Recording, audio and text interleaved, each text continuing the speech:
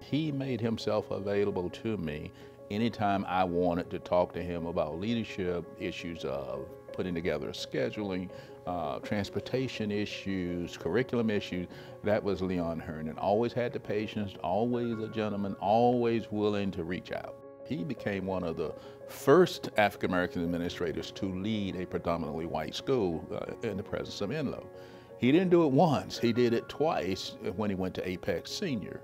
And that's almost unheard of because if you weren't successful at the first school, it's highly unlikely you're going to be sent to the second school. He, he took on a lot, but he didn't share a lot when it came to experiences that he was, he was going through um, as the, the first African American principal of a integrated high school in, in Wake County. You know, he, we have yet to know the full extent of what he had to deal with.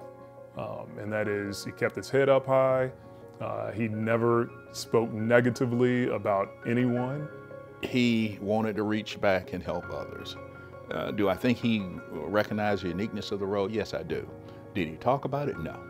That's just not something he would talk about because his character embodied hard work.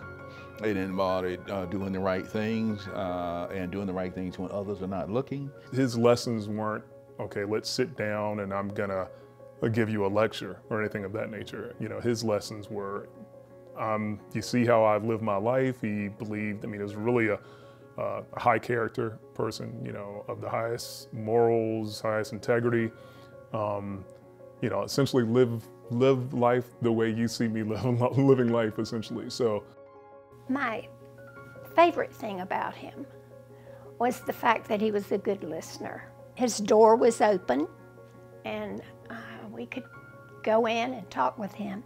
We didn't always get an answer immediately. He was the kind of person who liked to go home and sleep on his decisions. Well, Leon Herndon being a member of the Stars of Education grouping uh, is the absolute right call. He was a quiet, uh, strong leader who never talked about I. That was Leon Herndon. He worked for everything he got. You know, he knew he put his, his, his time in and he knew that he was, um, you know, a dedicated servant. And I think he would be very pleased to know um, and I'm sure as he looks down on us right now, I'm sure he has a sm big smile. That, that, that in my, my mind, a famous smile of his um, as he as he thinks back on you know on how um, how other people are, are recognizing him. I mean that's that, that's huge. Would be huge for him as well.